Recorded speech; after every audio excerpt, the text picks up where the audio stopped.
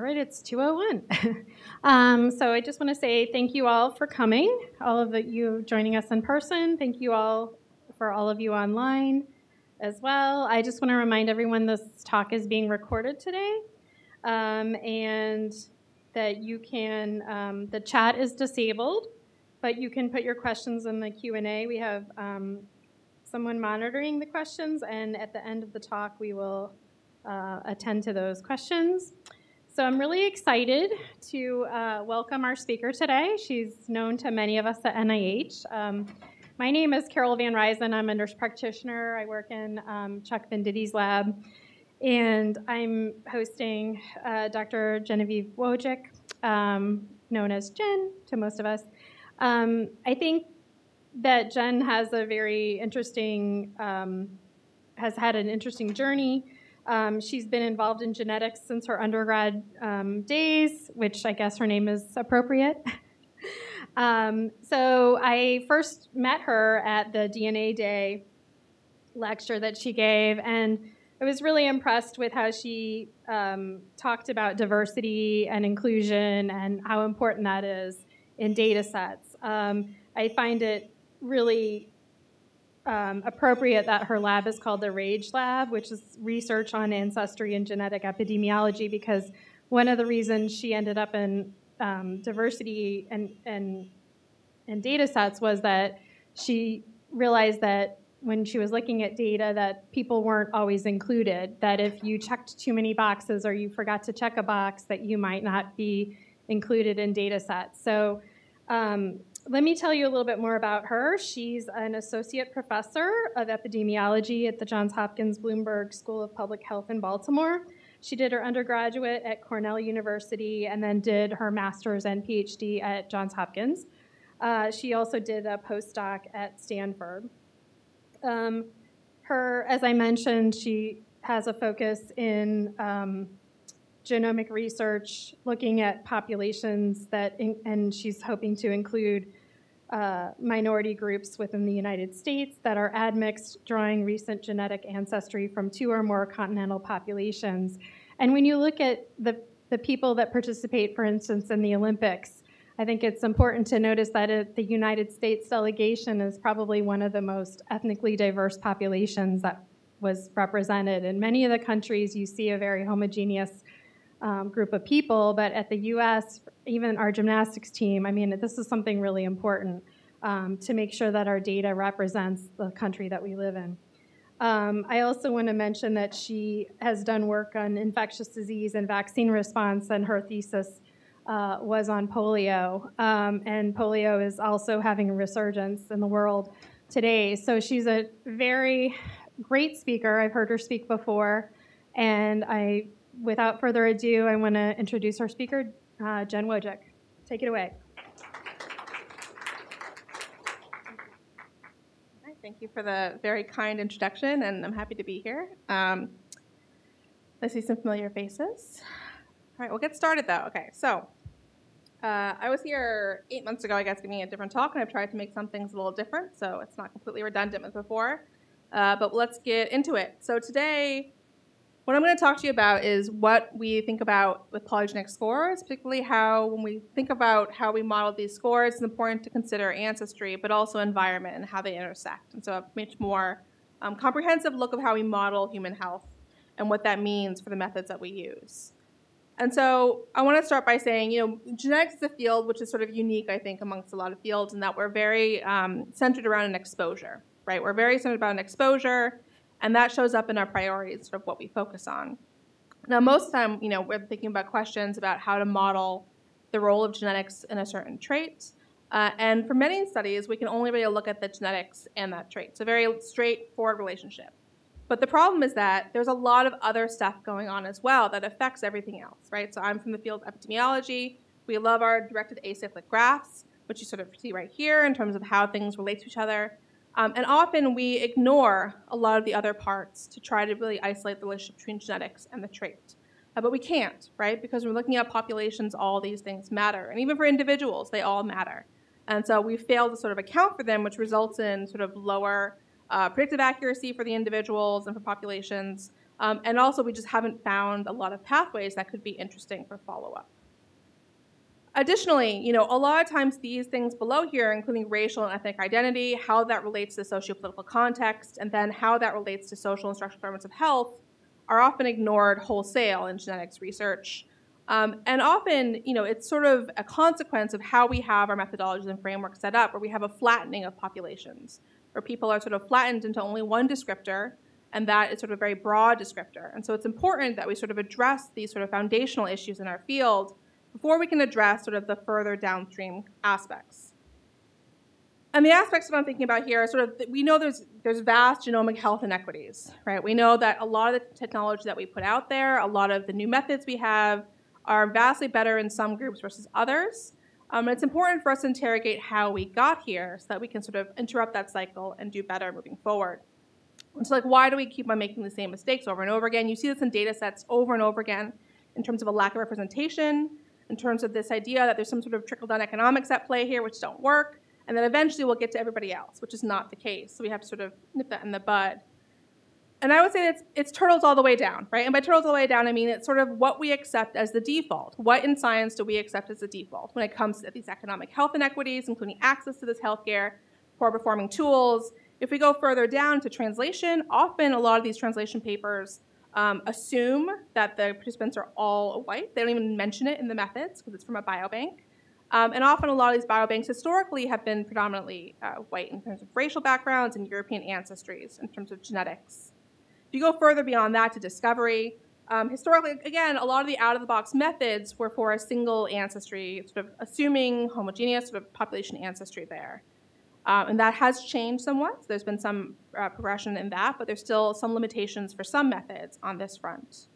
And then even further back in terms of diverse ancestries and populations, who we are recruiting and how we even measure their genetics. It was only very recently that chips for genotyping were developed uh, that could capture variation across global populations on a single chip. For that, it was very uh, sort of tailored, particularly to a European backbone. And so what we accept as the default um, is really important here, and it shows up in our data. So one way of looking at it is in the GWAS catalog. It's a curated data set of all published genome-wide association studies. Here, you, you often see total number of participants, which is important to see. What I'm showing you here is the average sample size in the published studies, which is sort of a rate-limiting step when we think about statistical power. Um, and I'm showing you the annual trends in the dashed lines and the cumulative knowledge base in the sort of solid lines here. And what you can see, starting in about 2017, this is around when the UK Biobank became more in widespread use and published on, you see this spike in the mean sample size, but only for the European ancestry groups, right? Everyone else stays pretty stagnant. And you can see this even when you zoom in, right? Even as we have these orders of magnitude increases in the European ancestries in the GWAS catalog, uh, you don't see that in anybody else and despite these there being a large number of participants, the average sample size per study stays the same. And so we're still very limited in our discovery power um, for these very foundational kind of studies that we do in genetics. And this has long sort of reaching ramifications for other studies done in genetics and genomics. So one thing was in polygenic scores. Um, this was a study uh, looking last year at all published polygenic scores where you sum across the entire genome for what is um, what genetics is associated with a particular outcome. What I'm showing you on the left hand, of, well, guess, yeah, on the left hand side here is the proportion of all published polygenic scores with European ancestry participants. Um, the ones in solid sort of blue blocks are they only have European ancestries included for these polygenic scores. And then in the middle, I'm showing you any PGS that includes anybody who is identified as being Hispanic, um, African American or Afro Caribbean. And so you can see it's a much, much smaller number of people. And then on the right hand side, what you see is the 2020 US Census, right? So it is not reflective of the US population, the general population. It's not reflective of where, which communities are disproportionately impacted by these outcomes that we're doing polygenic scores for. Uh, and so we have this disconnect that's going to have a long tail because of the lack of investment early on. And so we just don't have the data because often PGS are built from GWAS, um, and so you have these consequences that occur, and they keep on coming, coming year after year after year. And so you see these long tails of things happening. Now, if we go back to that framework, you could say, okay, like that's great, awesome.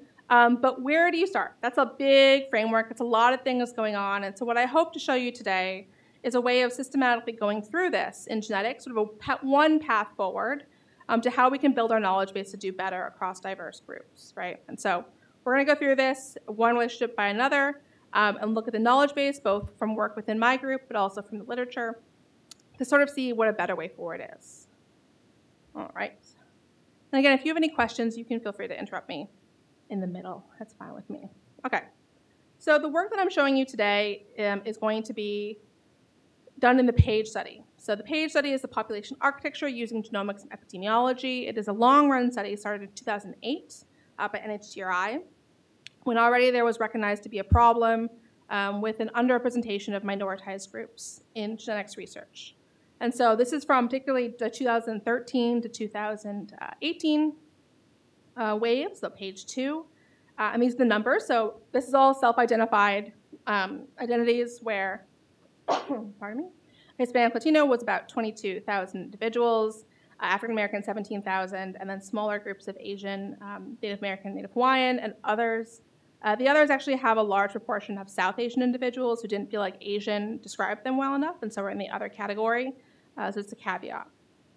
Also, um, you know, it is reasonable to think that 50,000 people is not a lot of people, but you have to remember this was 10 years ago when it was enough people. It was quite the achievement. We were very proud of us. By the time we actually published, though, it was not as much of an achievement, which goes to show you how fast things move. Okay, so for this particular vignette, what I'm going to be showing you is three, um, is, is where we're going to focus things down, right? I'm not going to show you across all participants. What I'm really interested in looking at is just in one population that is often assumed to be homogeneous, right? You pool everyone together and you assume that they're all the same and therefore they should be exchangeable within one group um, which I think most people uh, would, on its face, say is maybe a little ridiculous to include everybody who identifies as Hispanic as a single sort of homogeneous group, but that's what we're going to look at. And for the trait, we're going to look at body mass index. Okay, and now this is not the most clinically relevant trait. I'm fully aware of that, but it does provide us a really good toy example or an example to go through things uh, because it is a complex trait that has very strong differences in genetics and environment across groups. So it helps us illustrate the point without it being um, particularly for clinical outcomes. So it's been well shown before. I'm not going to go into it for this, this talk, but that PRS, these polygenic scores, so again, these tools summing the genetic liability, the genetic scores across the entire genome, um, when you train them and then you create this one score per person, they perform differently between these sort of very coarse categorizations of genetically similar groupings of humans, right? So we know that there's been a lot of literature over the past few years showing this. I'm not going to go too much into it. But my question is, how is this complicated by recent admixture or diversity of genetics um, within a single group? So we, you know, often in research, you'll, you'll lump people together, um, but what happens when there's substantial substructure on the genetic side within that one group? And then what, how it happens um, when it's further complicated by the heterogeneity environment from that one group. So when one group you're assuming to be relatively, you know, exchangeable with each other, you're having those assumptions, um, is not actually that exchangeable with each other because their genetics is very different, because their environment is very different. What does this mean for our polygenic scores? Okay, so we're going to do this, and we're going to show you some of these relationships here. Uh, but we're going to start off first at um, just looking at the polygenic score and, and BMI. I'm particularly focusing first on the population genetics aspect of this. So this is probably maybe the most well-trodden area of polygenic scores, what we're doing, um, but what effect that is. So let me orient you first to PAGE. This is the principal components analysis for those of you who are not familiar. Each dot is a person. They are colored by how they self-identify within the data set. Um, and then you're showing here basically with principal components analysis for those who aren't as familiar with it, people who are closer together on the plot are more genetically similar. Those who are further away from each other are less genetically similar to each other, right? And what you should see off the bat is that there is no discrete groupings across these, these groups, right? There's no single line you could draw and say, on this side of the line, these people are X, on this side of the line, these people are Y, right? It's just not possible. And you can see on the right-hand side, uh, moving further out, PCs 1 through 5, right? So you can go further out for that. And also just to further orient you, you have Africa, sort of the African component being pulled out to the right there. You have East Asia to the top there. You have the Americas, sort of the back left. You can't really see in 3D, but sort of back to the left. Uh, and you have Europe at the bottom for a variety of reasons. And so you see, again, a lot of diversity without discretization of where people are, right? The idea that you could have a single person and tell from here exactly how they self identify breaks down for a lot of these groups. Okay. So let's say that we want to get further into this idea of how particular membership within Hispanic Latino sort of umbrella category works when it comes to ancestry. And so it's important for us to delve in a little deeper as to what do we actually mean when we say Hispanic Latino with genetics research, right? What are we actually trying to say it is, and what is it, where does it break from those expectations and assumptions? And so we can look at this in PAGE. What I'm showing you here on the right-hand side is everybody who identifies as Hispanic or Latino. Um, they are sort of cover all the different axes of those individuals. You'll see what you think are some outliers, but I think it's important to note that doesn't mean that there are mistakes, right? It doesn't mean there's an error. Identity is complex, and it doesn't always align with what we think it does with genetics. And then we also see that if you color people further by how they further self-identify, so PAGE has really rich data in which people are allowed to further self-identify um, for the Caribbean as Puerto Rican, Cuban, Dominican, or for the Americas, Mexico, and then Central America and South America were both um, aggregated for numbers.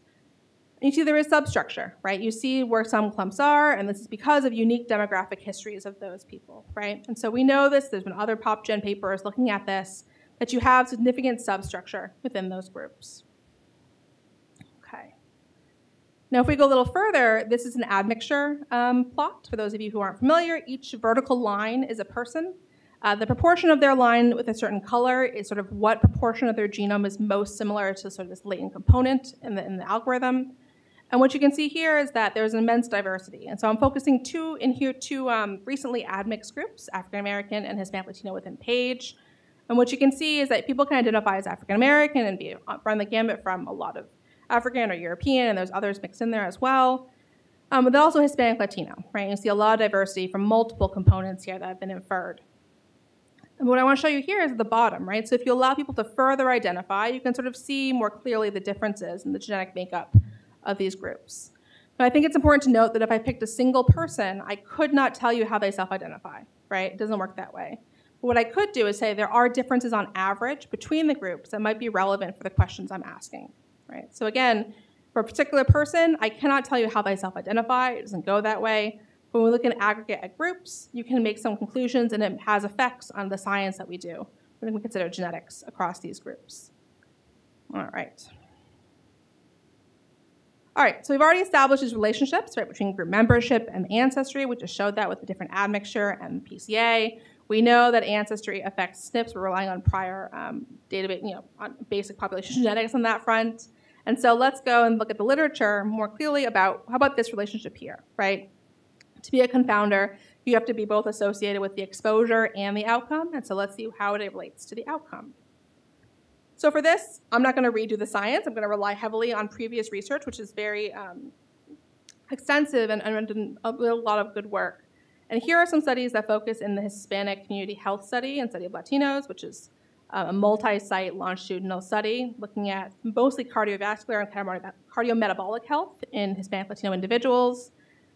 What they've shown before is that when you look at between these different groups, how they can self-identify, you see differences in BMI and weight gain trajectories this is after controlling for what you would typically think of as different sort of socioeconomic status variables, as well as geography, which differs between often these groups because things are correlated due to migration structures. Um, and then also they see differences in the burden of cardiovascular disease risk factors, okay, between the populations for both men and women. So we know from literature that this is established, and so we can really firmly establish that there is potentially a confounding relationship between a further ethnic identification within the Hispanic Latino umbrella, um, and then your genetics to BMI relationship here. And we can see further on, we'll see in a minute, what that actually manifests as uh, for the science, the results of how well these scores perform. So we'll look at that.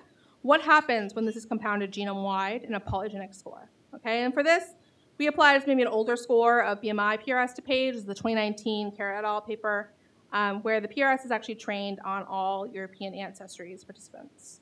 Uh, so keep that in mind as well for this. And so we applied it to all of PAGE um, and then compared it to their actual phenotypes, and this is what we got. So here you can see that the performance of the PGS differs between groups. I'm, on the y-axis, I'm showing the adjusted R squared, so essentially what proportion of the variation of the trait that we're explaining with these models Uh, the full model also adjusts for age, sex, and study in here, and so I've separated out into the base model in the lighter shading, and then the PGS, so you can see the actual partial R squared, what the actual genetics is contributing. Um, and so you can see, first of all, that the score, including the base model, does differently between the two, all the different groups, right? So the same risk score applied to all these different groups, same platform, same weights, performs differently, explains different distributions of the outcome in these different groups. So we already know that. So we know before from previous research that polygenic scores perform differently across these different broad ancestral groups. What I'm showing you here that might be a little different is that it also performs differently within what we typically think of as sort of a homogeneous group um, if these further sort of granular groupings. But what I want to show you is that it's not just about the full model, but also where the base model and the PGS differ. What you can see is if you realigned them here, how much of the variation is explained by just age, sex, and study, because PAGE is four different studies put together, and how much is explained by just the polygenic score. And so what you see here uh, for the polygenic score is what you'd probably expect, um, given that the, the score was trained in European ancestries. Uh, where the lowest performance of the polygenic score is in the Dominican um, participants with the most African ancestry. And then what I think is interesting, though, is that it's not just about factors not explaining anything, because you have the same populations where a lot of the variation is explained by age, sex, and study, right? So you have here what you typically think of, you know, geneticists would like to think that everything that's not genetics is environment, so maybe you categorize this as the environment, but the environment matters more, uh, for some groups versus others, right? So it's not consistent about what the total model does, but parsed into genetics and environment, also different contributions in these different groups for these basic things. Now, you might be saying, okay, that's, that's fine, but let, you know, why don't we just adjust for everything, right? It's a favorite thing of us making models. Let's just adjust. Let's add more terms. Let's adjust for it, and everything will be great, right? It'll perform better. Don't have to think about it ever again. Um, and the, the problem is that it's, that's not the way it actually works, right? So for this, what I'm showing you here is that if I actually do adjust for group membership, the performance of the model overall goes down. It actually decreases the performance of what we're actually explaining. And that's because some of these relationships are real, right? Some of these differences between groups are real. And so when you adjust for the group membership, you're losing valuable information that predicts the outcome. And if the goal of your project is to just predict no matter how you want to predict it, then maybe you don't want to adjust for these things. So what I'm showing you here is on the top left-hand side, these sort of bar charts. Um, you can see that when it comes to the top quintiles, the Puerto Rican individuals are much more are higher represented in this group compared to the others. Um, in this sample, again, it should be noted this is this is you know particular to this sample here. And then you see when you look at the distribution for the PGS as well, they are shifted, right? And so you have both the shifting of the outcome and the PGS, and when you adjust it away, you lose that information. And so it's not a matter of just adding more and more terms. We like to just put everything into these models, maybe apply some AI or machine learning, and just say put all the terms and explain as much as you can. But really, what that does is obfuscates what's actually going on in that population and might help um, to, to, to make it really difficult to see what's going on. So you see this overrepresentation, distribution shifted. And again, the largest adjustment in how thing how this does is in that Puerto Rican population. So the the betas, the top decile, I think it's quintile here, compared to everyone else, the biggest change is in the Puerto Rican group because you're adjusting out that real relationship, right? And so this also has ramifications for equity when we think about equity, and that it's not enough just to put everything into the model and then see how it does. But if you want things to be equitable and you want them to be grounded in where the burden of whatever the outcome is or a certain trait that you're trying to predict, you have to sort of go under the hood here and find out exactly what's going on. Um, otherwise, you could miss a lot of things. Yeah. Yeah.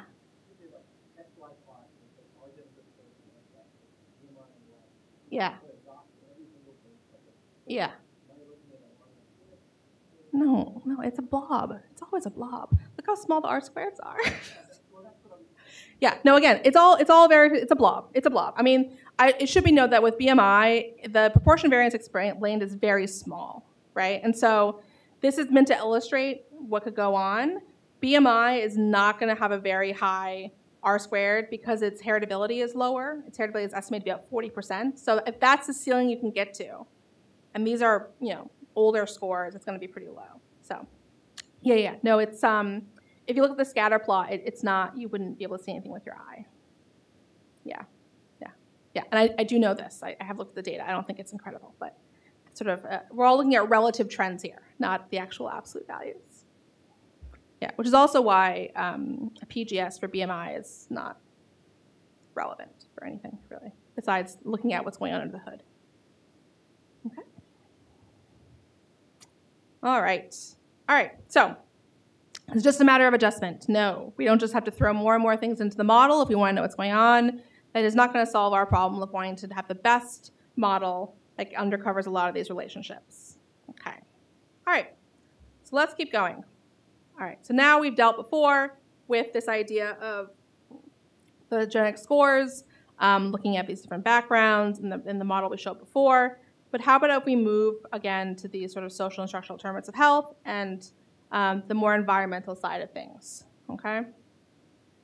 So when we think about the environment, you know, I think as geneticists, when we move into environmental research, a lot of people um, get caught up because environmental research is very, very complicated, especially because as geneticists, we think that everything that's not genetics is environment, which environmental epidemiologists absolutely hate that we do that. Um, but the idea is that there's a lot of different things at different levels environment, right? So we can go all the way from genetics and genomics and the multiomics at this sort of small micro scale, all the way to the macro scale through more of individual level factors, interpersonal related factors, neighborhood related factors, and societal related factors, okay? And so there's increasing scales that require different methods for each one of these because of the scale and the structure that you have to account for. And so this is especially to remember as relevant because in GWAS, when you're focused on discovery, you have individual metrics, right? And that's okay because you're looking for discovery. You'll follow up with functional analyses, you know, that sort of thing. But when you move from GWAS to population level distributions and polygenic scores, you have to really consider this multifactorial risk, right? And what that means with your study design and what it means with the methods that you use. You can no longer use just a straight out logistic regression to do everything because these factors act at different levels that need to be accounted for. All right. All right, so let's go back here. We're going to look at some individual factors here in the study and then also zoom out from social and structural determinants of health. Okay.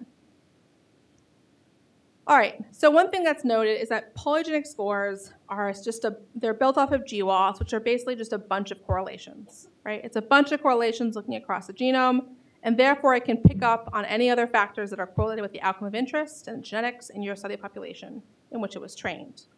And so we can ask the question, okay, you know, the polygenic score is explaining some amount of variation in the trait, but what is that polygenic score actually capturing, right? What is it actually picking up? And so what we're looking at here is we just sort of switch the equation around. Instead of BMI being the outcome, now we have the polygenic score as the outcome.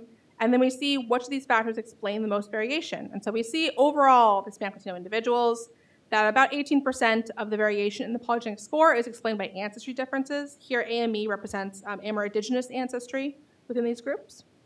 And only about 3% of the variation in the polygenic score is actually explained by the BMI, right, which goes to Larry's point that only a small amount of variation is explained by the polygenic score. And this is very typical for these very complex, very environmentally influenced traits that we have polygenic scores for, right, these sort of small R squareds. Now, what's interesting is that if you stratify, and here I'm looking at the two largest groups within PAGE, the Mexican participants and Puerto Rican participants, um, it, it differs, right? So here, the variation in the score is actually picking up different amounts of variation in the ancestry, and this is partly because of ancestry differences between these groups. You have a lot more Amerindigenous um, ancestry within the Mexican participants and Mexican American participants of PAGE. Uh, and then BMI also slightly differs. But what's really what I want you to focus on here is that what happens when we further stratify by smoking. Now, smoking you can see as an individual level risk factor, right? And so it shouldn't affect what the genetics is doing. It shouldn't affect that. Um, but what it does, again, because the polygenic score is built off of a bunch of correlations of which smoking was part of that study. And what you can see here is that when you look at the Mexican and Mexican American participants, there isn't a big change between ever and never smokers. The same amount of variation is explained by their ancestry, and the same amount of variation is explained by the BMI.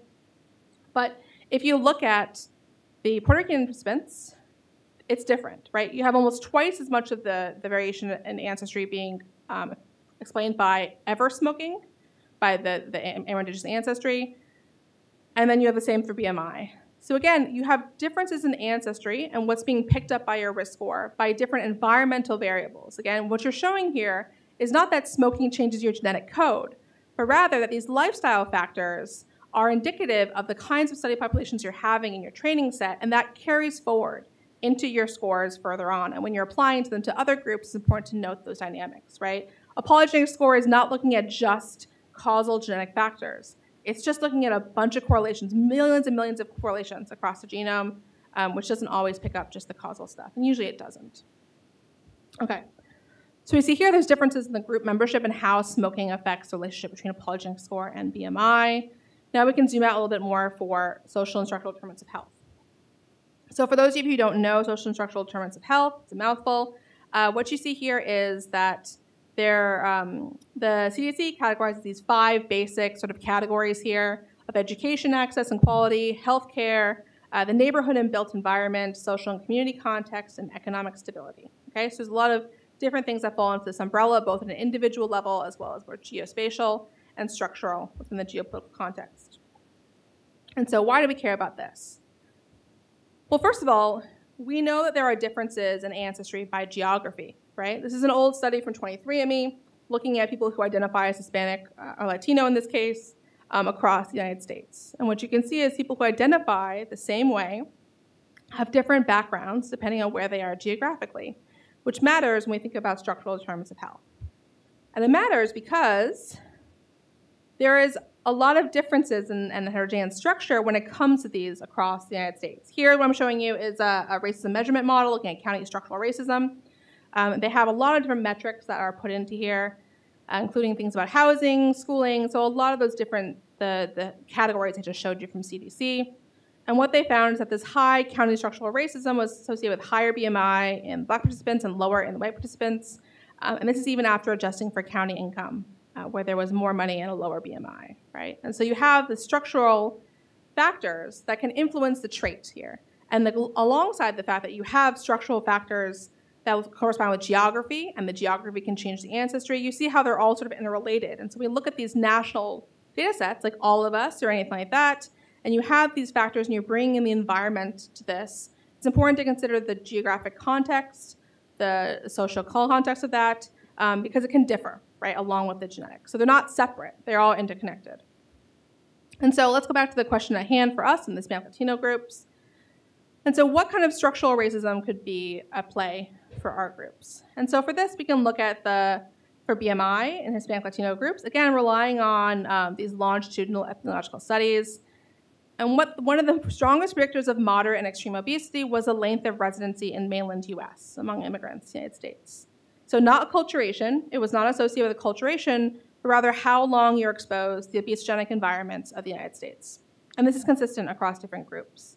And so we have this relationship between an environmental factor of immigration and time spent in the United States um, that could influence, again, these structural factors with these outcomes to take into account.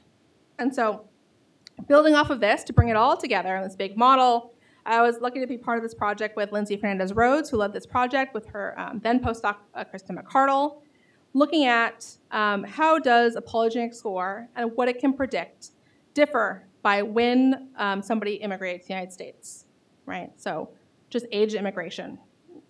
What I want to show you here, there's a base and a full model. Their full model is very extensive, includes educational lifestyle factors, um, typical biomarkers, demographics.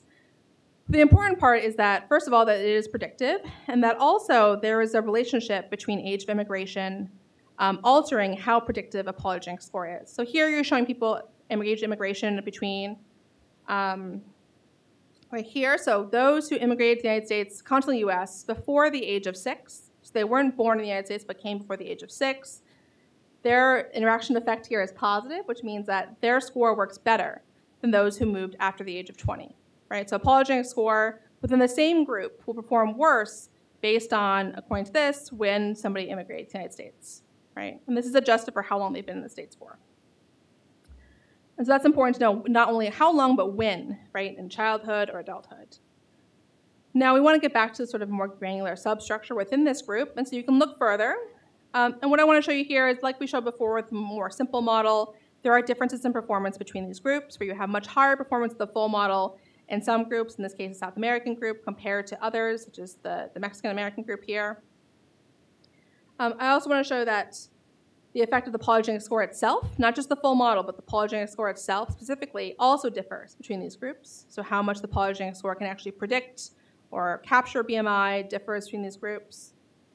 What I want to show you too is that environment also changes, right? So, that, that effect size we had before about what age of immigration affects the outcome um, is different based on which group it is. And that is because these groups moved to the United States to different places in the United States at different times for different reasons, and therefore that results in different environments, right? And so you cannot think that these groups have sort of standardized, um, sort of uniform exposure when it comes to environment just because we want to put them in one bucket.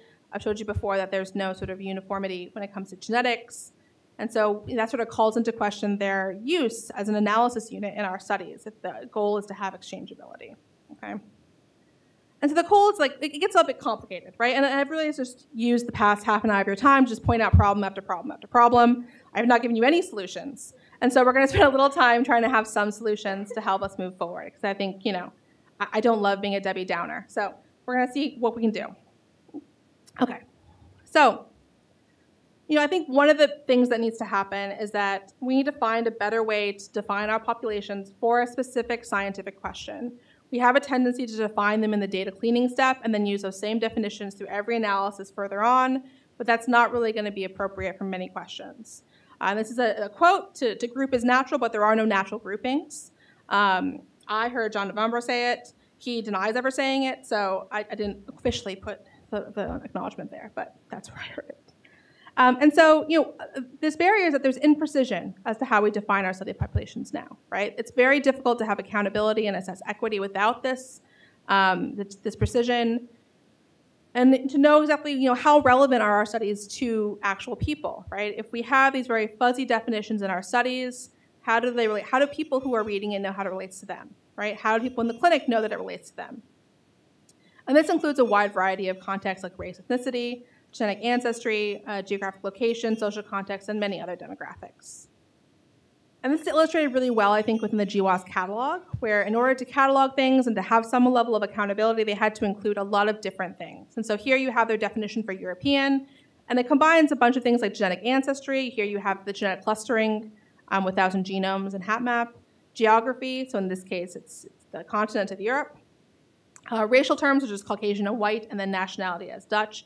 So all these different constructs are combined to have this one attempt at sort of accountability. And this is, I mean, I don't blame them for doing this. This is what you had to do, right? You have to do this to have some level of harmonization to look at the data and evaluate the knowledge base uh, together. And so, but this is sort of complicated because it really puts a lot of different concepts together, and it's hard to know how comparable these studies are within this umbrella um, when they're pulling from very different concepts.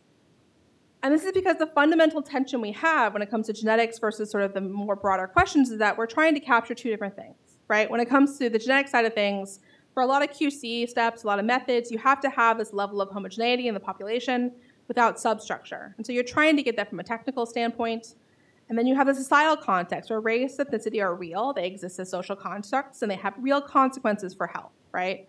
And so you have to reconcile those two options between the technical motivations and the downstream interpretations of what the data is happening with the idea that they, they aren't the same thing, right? They, they're not the same thing. They, they don't overlap as much as we think they do, um, and they have very different interpretations by the wider um, community. Okay, so on one hand, we have the genetic ancestry, and the other race ethnicity. So a report came out. Um, now I guess it was it was spring and a half ago, uh, but uh, this is from the NASEM committee, which I was part of, on population descriptors and genetics and genomics uh, with the idea of saying that you know we need to bring a lot of disciplines together to have some guiding principles and recommendations for how to handle these questions in genetics and genomics research. Uh, and really, it comes down to really just emphasizing the need for being a, very careful in aligning how we describe populations, how we define them, with the research question at hand. Right? Again, acknowledging there is no sort of innate factor that can categorize people. It's all about what question you're trying to ask and how you're doing it and what data you have at the, that time right? And so, you know, again, a very simple sort of thought, but very complex to do in reality, given the, the complexities of data that we work with. So, one thing I want to show you for here is a sort of some preliminary evidence for this, of method that might be, you know, addressing part of the problem. Um, but the idea is if your goal is genetic similarity, then you should just group by genetic similarity, right? You shouldn't be using these broad social construct sort of terms to capture what you are trying to do. You have the data, just do what you need to do for the data. And I tell you, this will not likely fall on the racial ethnic lines you think it is, particularly with recently admixed groups, where there's a lot of both diversity within the group and shared ancestry across the groups. And I want to say, you know, this is particularly important for us as we move towards this uh, sort of data-driven, right? It's a, it's a data-driven is everywhere, but driven where, right? Where is it driving us to? Um, and letting you know that there's you you cannot have a better solution if the input is faulty, right? If the assumptions are faulty. Uh, and so, you know, this goes to a lot of methods rely on current reference data, which already exists, and it, it, it relies on social constructs for how people were recruited and how they were grouped together. And this increased use of, of um, AI and ML often obscures some of these decisions within the algorithm. And I'll show you one example of this. So this is an example from a paper that's in the supplement, methods, so you have to dig it up. Um, but the idea is that in the genetics, they use a clustering algorithm. I think there's a random forest classifier for this. But they said, okay, people, you know, you have a post your likelihood for who you belong to, which group you belong to. And if somebody belongs to more than two groups, right, if your likelihood is above 0.3, we're going to arbitrarily assign you to this group over this group, this group over this group, right? And I want you to notice what they arbitrarily assigned groups over. So they directly fall on the lines of hypodescent, the one drop rule. And not only that, it recapitulates further the sociological concept of below, which is the axis of subordination, right? Which has the distal, how distal you are from this whiteness is perfectly recapitulated in above the, again, arbitrary decisions of the algorithm of where you're classified, right? And so it's important to know that even if the data drives us here, even if we use the methods, even if it's only for a few people or a small number of the portion of people we're using, you can still use these methods to recapitulate racist policies and have that follow through in many, many, many papers, right? And so it's important for us to question these usages because they're not valid from an ethnological standpoint. I've showed you here there's a lot of structure within these groups. And it's not valid from a genetic standpoint because you'll notice that they apply African over a lot of these groups when Africa is the most diverse continent. And over everybody, they put Hispanic Latino or Americas here, which is not, again, genetic grouping. It's a very diverse group and covers two continents, right? And so again, you have this idea where you're not actually doing anything scientific. You can put numbers to it, you can put these rules to it. Doesn't mean it's actually scientific, it's assumptions that you're putting on this, and we need to avoid this, okay? Just the idea that machines are not gonna solve all our problems. Um, if anything, you know, singularity is an issue. Okay, so what can we do instead? So here I'm showing you just a brief vignette of a possibility of one thing we need to tackle. And this is a postdoc in my group, Amber Satori, um, who's working on a personalized reference sets. So when you do polygenic scores and you're taking a person and you want to know, okay, it's a relative measure, how do they relate to other people, right? You come up with groups. And typically these groups are very broad, like African, right? Which anybody who has any African ancestry is put into that. And you're saying, I want to compare them to everybody else. I'm assuming everything else is the same except for this one risk score that I'm measuring. That's the, the assumptions of exchangeability. And that's not true. And I'm going to show you what happens with that. And so this other method that we're looking at here, uh, personalized reference sets, is looking at the k nearest neighbors. So we're saying, if I want to find a data set that's similar genetically to my index case, then I'm going to find the people who are similarly genetic, and that's my new reference set. I'm not going to use these social constructs. I'm not going to have these broad categories with really diverse people. I'm going to just match people, right? I'm going to have these matching things. And this has been a practice, I think, in other components, in clinical trials and sort of in silico things there. Um, but we can do it in genetics as well. And so what does this look like in practice? So here, let's say this is an example. Again, this is the Hispanic Latino individuals in PAGE and how they identify along PC1 and PC2. And so let's say that I had an index person in the middle here. For PC, here, this little white dot, you can see right here. Um, you would probably have, you would have them here. You would have compared them to everybody, right? But what you can see is they are very genetically different from people over here and over here. There's diversity within that. So instead, you're matching them to the k nearest neighbors. Uh, it doesn't look as tightly bound because it's actually we use multiple PCs, which are all um, orthogonal each other. But the idea is that you want your nearest neighbors. And what you're noticing here is that it's from a, it's not just from their own group, right? There's going to be members there in the PC space that are Hispanic, people who are African American, whoever's your nearest neighbor. It doesn't matter how people identify as long as they're genetically similar to them, right? Because what you're trying to model again is genetic similarity. And this is important because as we do genetics and statistics in general, we're very focused on the mean, right? All our stats are oriented to the mean. We forget in some of these groups the variance is very large. So what I'm showing you here is PC1 and PC2, PC1 and PC3 for the Hispanic Latino individuals, and I'm showing you, based on where they are in this PC space, what proportion of their individualized reference set is within the same group. And what you can see is as you get further away to the left-hand side, those individuals, their nearest neighbors in genetic space are not Hispanic Latino according to these self-identified labels. They are something else, right? You have a lower concordance. So while maybe this use of broad groups is doing fine for those in the middle, right, because they're similar and they have that, on the tails you see differences. And so it's important to know for these groups, the tails are very wide. There's a lot of people you're leaving behind on those tails that maybe weren't as much of a concern in previous work and looking at more um, homogeneous relationships in populations. But for these recently admixed groups with large variance, there's a big problem here. We can quantify this more directly on PC1, what is the concordance, right, with their own group? And what you can see here is that as you go on PC1, this is just um, one of them for Hispanic Latino and African American participants. Again, you do pretty well for a lot of people, but a lot of people, their nearest reference set is not that same group, right? So you would have incorrectly matched them to the wrong reference set and possibly gotten incorrect estimations of their genetic risk. Just because you put them into this big bucket what you think was a relatively sort of uniform population when it's not. And let's give you some examples here. So here, I'm going to hurry up because I'm running out of time, but here are four individuals. They all identify as being Hispanic Latino, and you can see sort of how they break down with who's in their data sets, right? And so you have person A right there in the middle. Um, 996 out of 1,000 people are also identified as Hispanic Latino, but you have two African American, two others. And the other one, next one on B, um, you have more of the 934 Hispanic Latino, and then one African American and one Native American individual from the PAGE data set. But then showing you below here, you have people who are C. Again, they are identified as Hispanic Latino, but the majority of their nearest neighbors are African American. And if you delve into the data more, that person is uh, identifies further as being Dominican, right? But they are Hispanic Latino. That is the, the valid identity.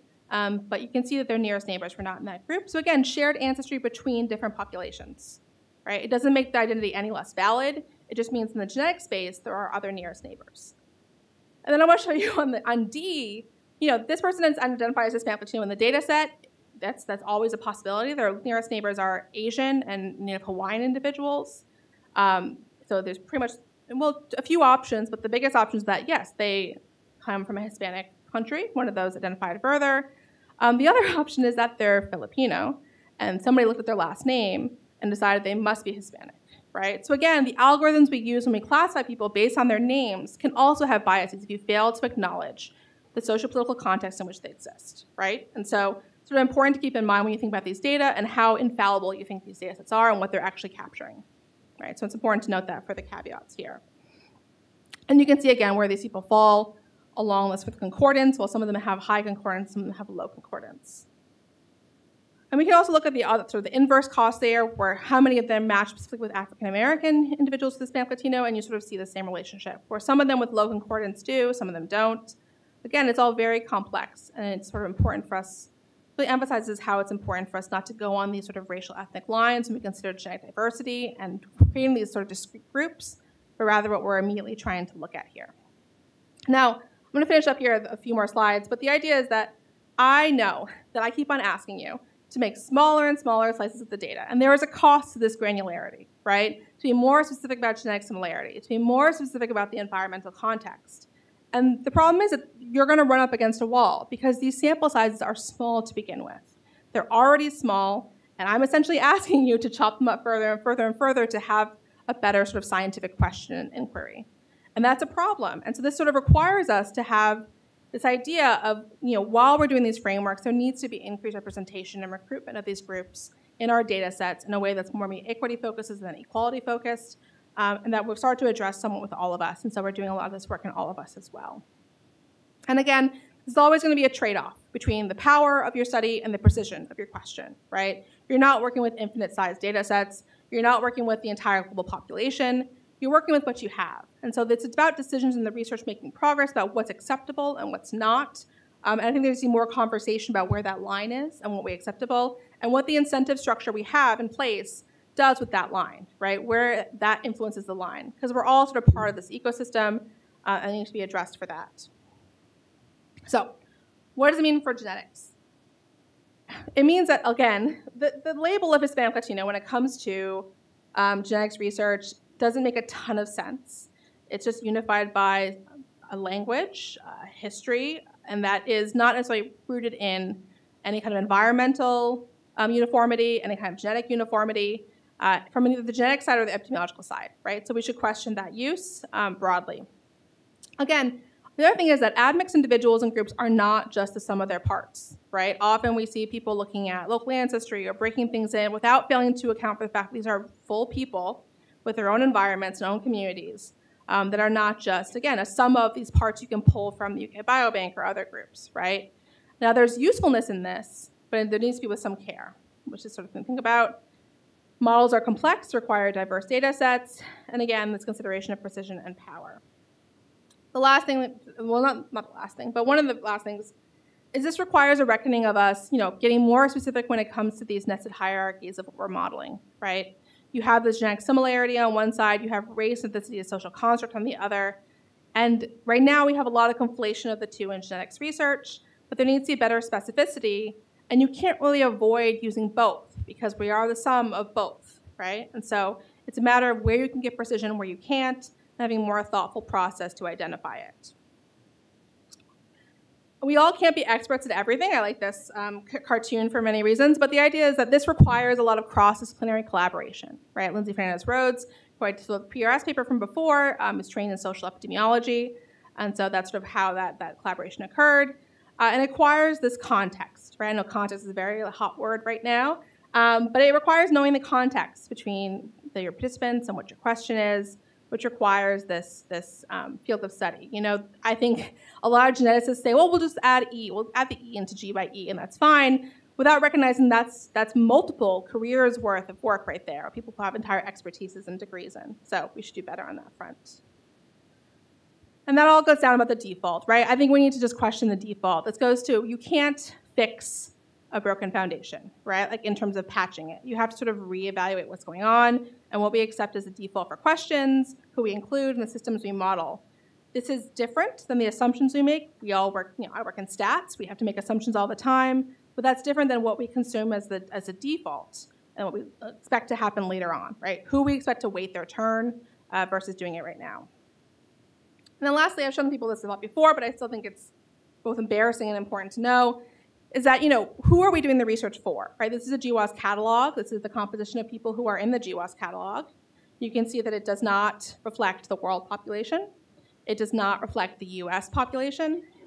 It does reflect us, right? And so I didn't go into this field for strictly you know, selfish reasons, and I know many of us did not as well. And so it's important for us to think about, you know, how this affects the defaults we have, how can we remedy this, including the workforce and what sort of ideas we reward and the incentive structure um, to do better, I think, from the sort of ground up. With that, I'll let people to think, including my lab, the, the RAGE lab, um, and I'm here for any questions you have. Thank you.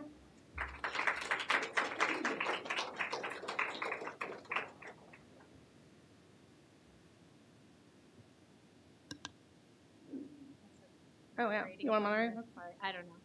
Um, thank you. That was an excellent talk. So I guess, um, does anybody have any questions? Please come to the mic so we can hear you.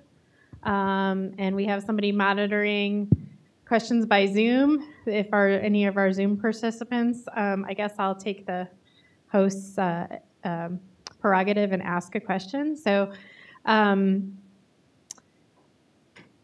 you know, it's since this is like not a one size fits all and humans are obviously very messy like and we self-report but maybe we self-report differently on different data sets how do we get people to and also people report wrongly or i shouldn't say report wrongly things get reported wrongly. Um, how do you think we can fix that situation I think you know part of it's just asking people. A lot of the times, the fields that we use are not actually people's self-identified labels. They're sort of whatever people like a provider can look at a person and be like, I'm going to put this person here, and that changes wildly. There's sort of previous studies looking to see how different labels can change from visit to visit to visit, depending on the provider. There's also the new OMB categories, which um, are they combine race ethnicity, which you know there are some challenges with that, in that there is more of an emphasis on um, national origin in the new OMB categories. So again, sort of complicating things. But I think you know you allow people to, to again, this is the messy answer and it's a lot more work. But you allow people to self-identify themselves. You give them as many options as they want. You can have open fields, which you don't have to use in every analysis, but just having it there for future work can help. Um, but people will tell you who they are, right? And they will tell you who they aren't. Um, and so giving them the space to do that without assuming that they should fit into these boxes um, will do that. Also, don't make everybody fit into just one box. A lot of people have multiple boxes, which again is a challenge when looking at the data and actually using the data. Um, but I think it's better to have the data and then figure things out later than to never collect it in the beginning. Not particularly a question, kind of Yeah. a, more asking your opinion. So um, you add in that our models are very complex because we have to add more and more things Yeah. into them, um, especially in the United States because we're so, such an admixed population. Mm-hmm. Have you ever tried to make collaborations with people from like European countries that are much more hon- homogenous, like like the Mm-hmm. Estonian biobank, the Finnish biobank, Mhm. where we can like maybe test out some of these things in these Mm-hmm. very more much more homogenous populations before trying to then apply them to our much more complicated Yeah. process over here?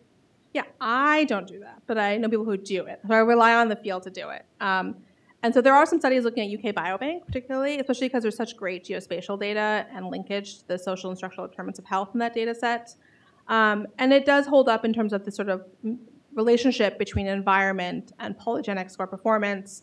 Um, not necessarily because the genetics of a trait is different between groups based on environments, but more how much genetics is allowed to matter differs between these groups based on the environment. I think that's an important sort of distinction because it's not again you're not saying different biological pathways are different based on like where you are geographically necessarily speaking. It's more that you're trying to say you know for these different performances there's sort of two ceilings that you have, and one of them is the heritability. Right. And so they've showed differences in heritability, differences in polygenic performance in the UK Biobank by um, geography. Um, it's Abdel Abdellaoui who's done a lot of work in that space. And there's been some done in, in, in Finland. But the, the, the challenge, again, is that you have this balance between having enough diversity to ask the questions, but not too much diversity to make it super complex. And so there's very few places which have both of those um, at, at a scale. So, yeah. Thanks. Yeah.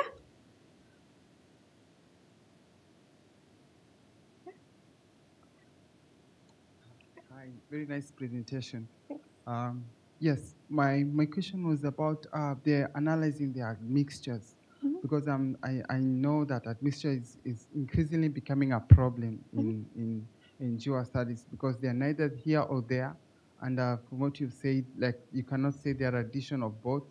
And so, uh, could you share your opinion on how to analyze the um, the group that fall in these admixtures and um, and um, and uh, I don't know, will because even if you say like somebody is 50% admixture, two Mm. people are 50% admixture, they're not the same like in mm. terms of the genome. Yeah. And so, could you comment on that and also the application of PRS uh, on their that group? Yeah, yeah, sure. So the admixture, I mean, it, so I didn't go into the methods for this paper for this part of it, but I mean, admixture is not uncovering some innate static truth, right? It's about the models you use. And so for that admixture analysis that I showed, we did k equals 2 all the way to k equals 10, did 100 seeds per one, and you pick which one has the best fit for things, right? You let the data, in that case, you're saying the algorithm does it, and you take care to make sure in the manuscript that you're saying, like, this is an algorithm, here's all the different runs, all the different k, you can see what comes out, what doesn't come out. And for us, it was important that we actually didn't use reference data for this admixture analysis because um, of the inclusion of different groups that wouldn't align across the different thousand genome sort of boundaries for this. I mean, I think that the issue with with admixture is it's a little different for us because these are recently admixed groups, and so you are sort of modeling a recent process. The pro, you know, there's there's always a question of like, are they mixed or are they just in the middle, right? And so this question of how you can disentangle of who you're showing and what you're trying to statement you're making with the data it needs to be very carefully done to distinguish between those, right? Because not every data set has to have an admixture plot. It's very pretty. I loved making it, but it's not necessarily needed for every single study.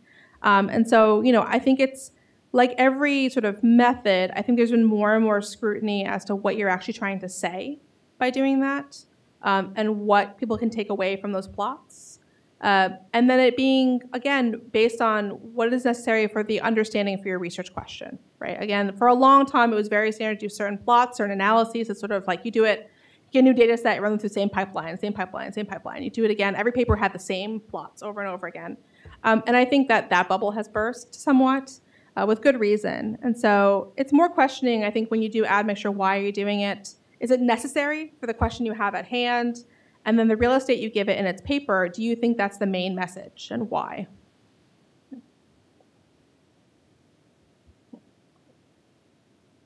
Hi, um, not a scientific question, just like a personal opinion. Yeah. Me being a like a Latina, you know, like Latina category, I just think it's. I really like your talk, and I think it's. Um, it's I always had trouble with this classification of Hispanic Latina because really forces you to pick something, and there is such a heterogeneous, Mhm. you know, po- population, even in within the countries. Like Yeah. you try to sub-classify like Peru, I mean, uh, Mexico, Puerto Rico, and South America. Even in, you know within each country, there is Yeah. maybe some of them might be more homogeneous, maybe Mhm. Cuba or Puerto Rico, but especially many countries in South America or like Central America, there is vast uh, indigenous ancestry, and there is also groups that are mostly European Yeah. or, or African, and they're very different. And Mhm. maybe, of course, there is also play out of social factors there. But um, I, you know, my wish is that one day maybe, as you said, we could have like an open uh, Yeah. box so we Yeah. can self-classify and maybe tell our own story because Yeah. there might be people that want to tell about their ancestry or how they identify, and maybe we could have groups of instead of like countries, you know, like maybe I I gonna I don't I don't know. There's like so many indigenous groups Mhm. in, in South America, Quechuas. Mayas, Mixtecs, you know. Maybe those groups would reflect better, Yes. right? The, these parameters and these questions we're trying Mhm. to ask. So I just really like it. Yeah, Thank you. Thank you. Mm-hmm. Yeah.